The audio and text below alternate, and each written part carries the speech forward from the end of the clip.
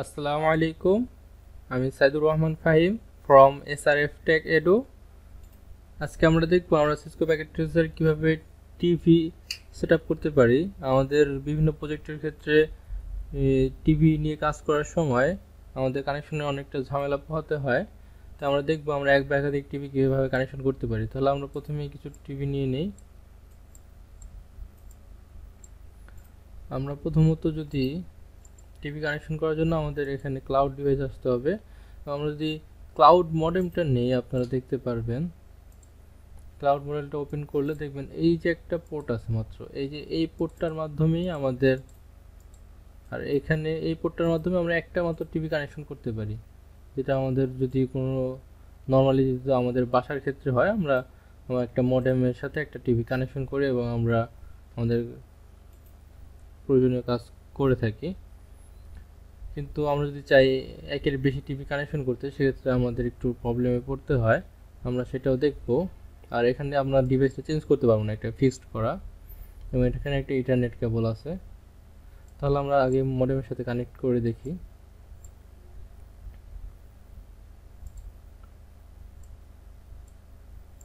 এখন আমরা এখানে অটোমেটেড ওয়্যার নিয়েও কানেকশন করতে পারি। তাহলে হয়ে যাবে বা আমরা এই যে এই ওয়্যারটা নিয়ে কোএক্সিয়াল ওয়্যারটা নিয়ে কানেকশন করতে পারি।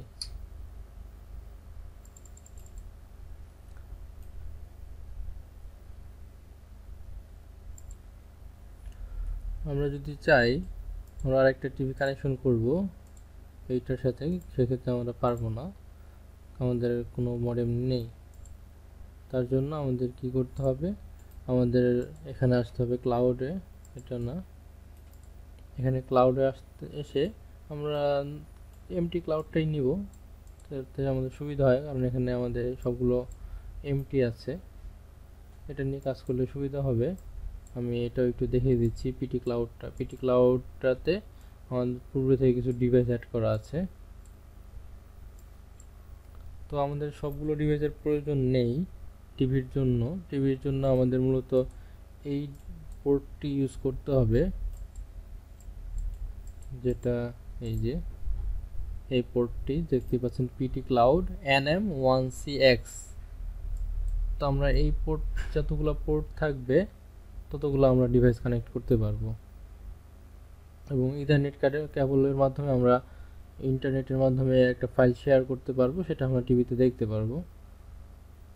তো আমাদের এখানে ইন্টারনেট একটা থাকলেই হবে।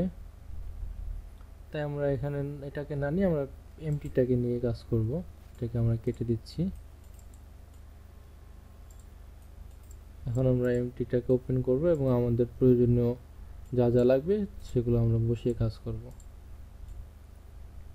এটাকে ওপেন করলে দেখতে পারেন সবগুলোই ফাঁকা। এখন যদি আমি কোনো কেবল ওয়ারিং করতে চাই, সেক্ষেত্রে কি হবে? দেখতে পাচ্ছি নো অ্যাভেলেবেল পোর্ট মানে এখানে কোনো পোর্ট নেই কেবলের জন্য মানে সবগুলোই এমটি এখন আমাদের পোর্ট ইউজ করতে হবে। আমরা ম্যাক্সিমাম পোর্ট করব, এটা ইউজ করব। এখান থেকে আমরা ড্র্যাগ অ্যান্ড ড্রপের মাধ্যমে করতে পারি এবং করার আগে অবশ্যই আমাদের ডিভাইসের পাওয়ার অফ করে নিতে হবে। পাওয়ার অফ করার জন্য আমরা এখানে যাব। এই যে আমাদের পাওয়ারটা অফ করে নিতে হবে এখানে। এখন আমরা অবশ্যই করতে পারব। আমরা ড্র্যাগ অ্যান্ড ড্রপ করব বা আমরা এখান থেকে করতে পারি। PT cloud NM one six X চারটা নিলে হবে আমাদের, যেহেতু চারটা ডিভাইস আমরা একাধিকও নিতে পারব, যদি চারটার বেশিও কাজ করতে চাই। কারণ আমাদের অন্য কিছুর প্রয়োজন নেই। এবং আমরা একটা ইথারনেট কেবল নিব, যাতে আমরা বাইরের সাথে কানেক্ট করতে পারি।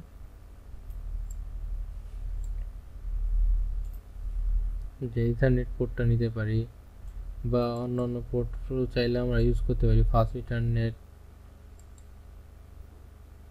গিগাবাইট ইন্টারনেট আমরা ফাস্ট ইন্টারনেটটা নেই। ওকে এখন আমাদের সবগুলো পোর্ট ফিল আপ করা আছে। এক, দুই, তিন, চার, পাঁচ, ছয়, সাত, আট, নয়টা।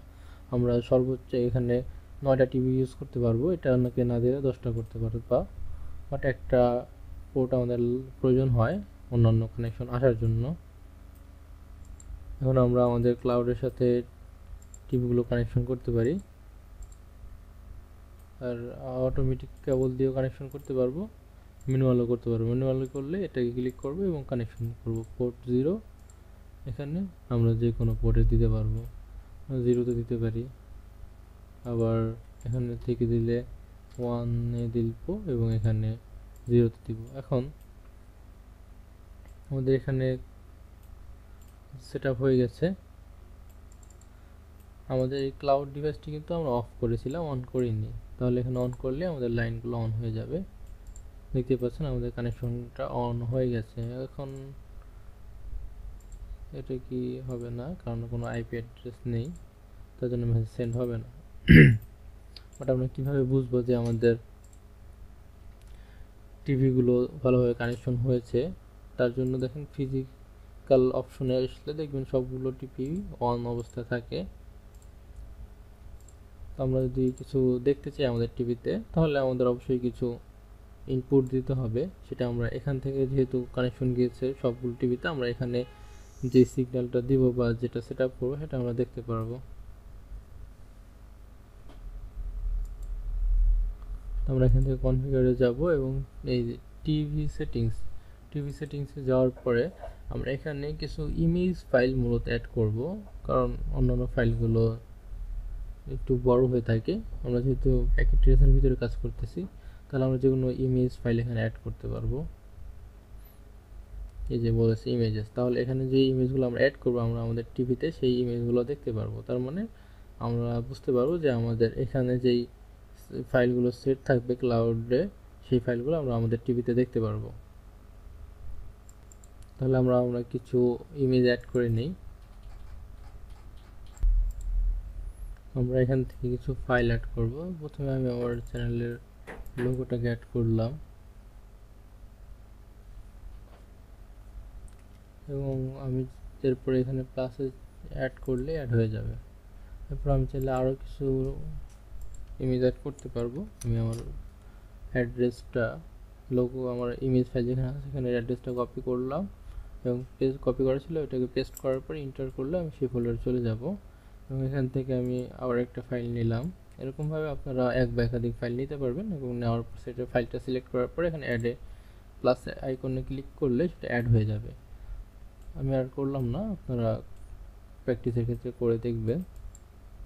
এখন আমরা কি করব? আমরা এখানে আমাদের কিছু ফাইল আছে ক্লাউডে সেটা আমরা টিভিতে দেখব। সেটা আমরা এখানে আসলে যে আমরা দেখতে পারব। কন্টিনিউয়াসলি চলতে থাকবে। আমরা সেটা যে কোনো টিভির ক্ষেত্রে হবে। ফিজিক্যালে গেলে যে ফাইলগুলো এখানে সেট আপ করেছি, সেই ফাইলগুলো এখানে দেখতে পারব। কেটে দিচ্ছি। আমরা আমাদের ক্লাউড ডিভাইসটাই ভালোভাবে দেখব। আজকের জন্য এখানে শেষ করতেছি। সবাই ভালো থাকবেন। খোদা হাফেজ। তো ভিডিওটি যদি আপনাদের উপকার আসে, তাহলে অবশ্যই আমার চ্যানেলটিতে সাবস্ক্রাইব করবেন এবং ভিডিওটি আপনার বন্ধুদের সাথে শেয়ার করবেন, যাদের এই ভিডিওটি প্রয়োজন মনে করবেন। খোদা হাফেজ।